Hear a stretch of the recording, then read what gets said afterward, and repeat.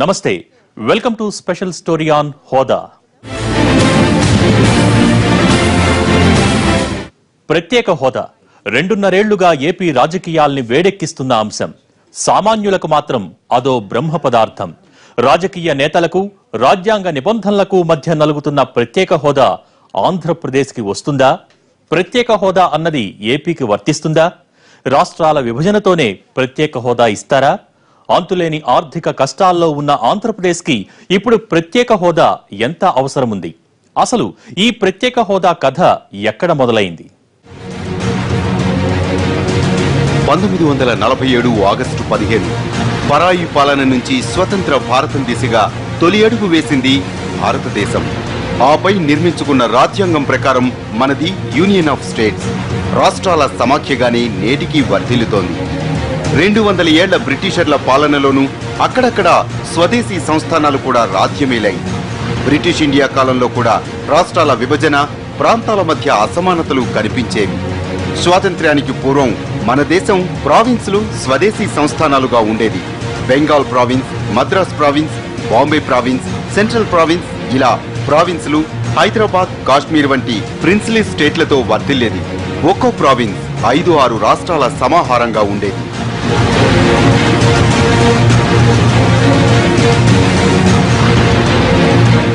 బ్రిటిషర్ల కాలంలో కూడా ఈశాన్య రాష్ట్రాల ప్రాంతాలకు ప్రత్యేక ప్రతిపత్తి ఉండేది. కొండ ప్రాంతాలకు వెనుకబడిన ప్రాంతాలకు రెవెన్యూ తక్కువగా ఉన్న ప్రాంతాలకు అప్పట్లో బ్రిటిషర్లు ప్రత్యేకంగా ఆర్థిక సాయం అందించేవారు. ఈ ప్రాంతాల్లో వారికి ప్రాజెక్టులు వ్యవసాయం నుంచి తక్కువ ఆదాయం ఉండడంతో బ్రిటిషర్లు తక్కువ పన్నులు విధించడం నిధుల కేటాయింపుల్లో ప్రాధాన్యతనివ్వటం చేసేవారు. ఆపై స్వాతంత్ర్యం సిద్ధించాక ప్రావిన్సులు కాస్త రాష్ట్రాలుగా విభజించడం మొదలైంది. అలా ఒక్కో రాష్ట్రం ఏర్పడుతూ ఇప్పుడు ఇరవై తొమ్మిదవ రాష్ట్రంగా తెలంగాణ ఆవిర్భవించింది.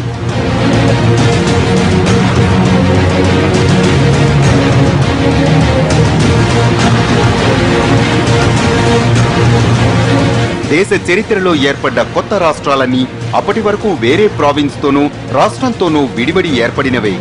పంతొమ్మిది వందల యాభై మూడులో మద్రాస్ ప్రావిన్స్లో ఉన్న ఆంధ్ర ప్రాంతాన్ని వేరు చేసి ఆంధ్ర రాష్ట్రంగా ఏర్పాటు చేశారు. ఆపై మొదటి ఎస్ఆర్సి సిఫార్సుల మేరకు భాషా ప్రయుక్త రాష్ట్రాల ఏర్పాటు జరిగింది.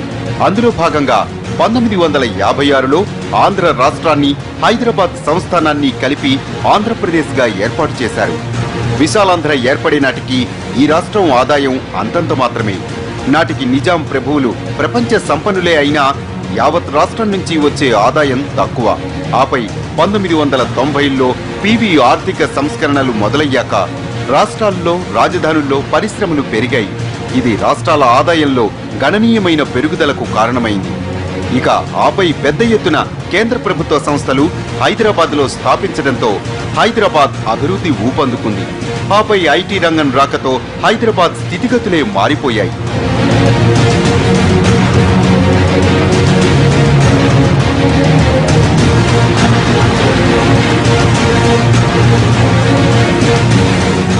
రెండు వేల పద్నాలుగులో తెలంగాణ ఏర్పాటు తర్వాత రాష్ట్రంలో అధిక ఆదాయం వచ్చే హైదరాబాద్ ఏపీకి దూరమైంది. ఏపీకి అన్యాయం జరుగుతోందన్న అభిప్రాయంతో నాటి ప్రధాని మన్మోహన్ సింగ్ రెండు వేల పద్నాలుగు ఫిబ్రవరి ఇరవైన పార్లమెంట్ సాక్షిగా ఏపీకి ఐదేళ్ళ ప్రత్యేక హోదా ఇస్తున్నట్లు ప్రకటన చేశారు. కానీ అసలు కథ అక్కడి నుంచే మొదలయ్యింది. For purposes of central assistance, special category assistance.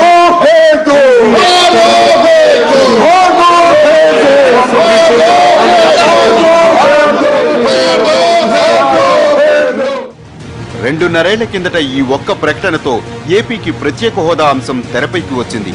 అప్పటి వరకు విభజన దెబ్బతో అల్లాడుతున్న ఏపీకి తాత్కాలిక లేపనం పూసేందుకో లేక తమ మీద పెళ్ళుబుకుతున్న ఆగ్రహాన్ని చల్లార్చేందుకో తెలియదు కానీ ఆనాటి కేంద్ర కాంగ్రెస్ ప్రభుత్వం ఏపీకి ఐదేళ్ళ ప్రత్యేక హోదా ప్రకటించింది. ఆనాడు అక్కడే సభలో ఉన్న బీజేపీ అగ్రనేతలు ఐదేళ్ళు కాదు పదేళ్ళు ఇవ్వాలంటూ నిండు సభలోనే గగ్గోలు పెట్టారు. మొత్తానికి రెండు వేల పద్నాలుగు ఫిబ్రవరి ఇరవైన నాటి ప్రధాని మన్మోహన్ సింగ్ ప్రకటన తరువాత అంతా మాయలా గడిచిపోయింది. ఆపై విభజన ప్రక్రియ చకచక పూర్తయిపోయింది. ఆపై ఎన్నికలు జరిగిపోయాయి. రెండు రాష్ట్రాలు ఏర్పడ్డాయి. అంతే ఆ తర్వాత ప్రత్యేక హోదా విషయమై అటకెక్కిపోయింది. రెండున్నరేళ్ళుగా ప్రత్యేక హోదా గురించి ఆంధ్రప్రదేశ్ ప్రజలు నాయకులు పోరాడుతున్నా ఏపీకి ప్రత్యేక హోదా ఇవ్వమని తేలుస్తున్న నేపథ్యం ఇప్పుడు నెలకొంది. రెండున్నరేళ్ళుగా తర్జన భర్జనలు వాదోపవాదాలే తప్ప ఏపీ ఆర్థిక కష్టాలు మాత్రం ఏ ఒక్కరికి పట్టడం లేదు. ఏపీకి పదేళ్ళ హోదా తప్పనిసరిగా ఇస్తాం ఏపీ రాజధానిని ఢిల్లీకి మారుగా మారుస్తామని సాక్షాత్తు నేటి ప్రధాని ఆనాడు ప్రచారంలో హామీ ఇచ్చారు.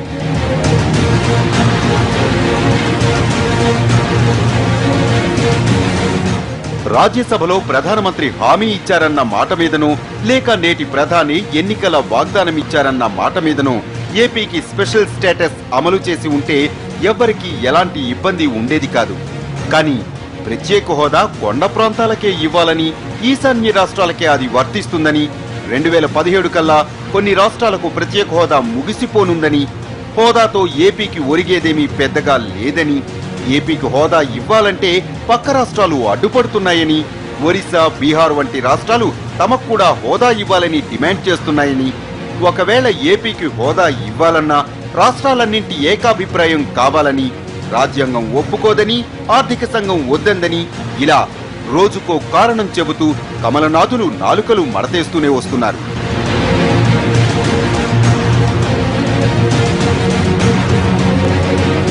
హోదా మీద పార్లమెంటులో టీడీపీ నేతల అనుబంధ ప్రశ్నలకు అలాంటిదేమీ లేదంటూ ప్రభుత్వం సమాధానం ఇవ్వడంతో కాక మరింత రేగింది.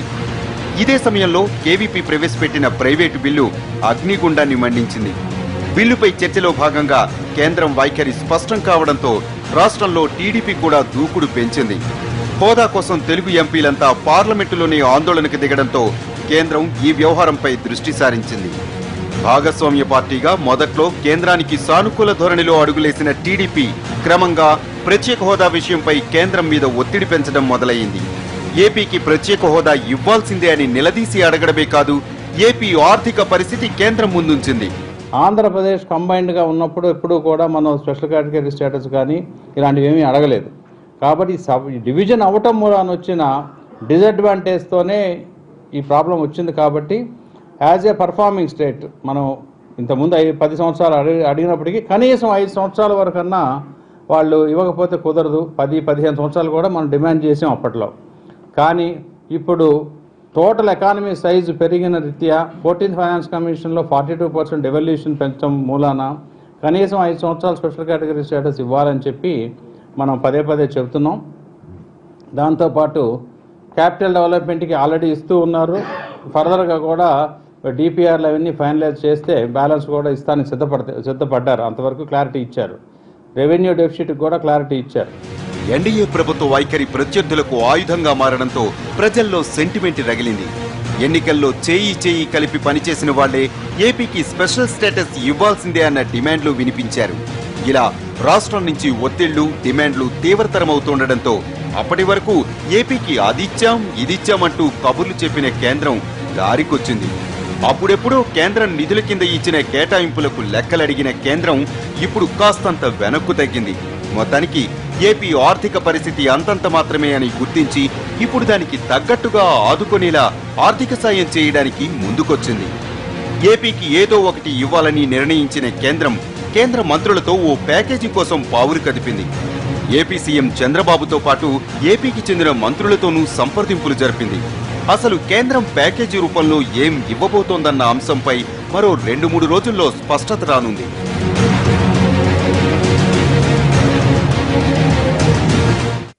హోదా స్పెషల్ స్టోరీలో షార్ట్ బ్రేక్ తీసుకుందాం.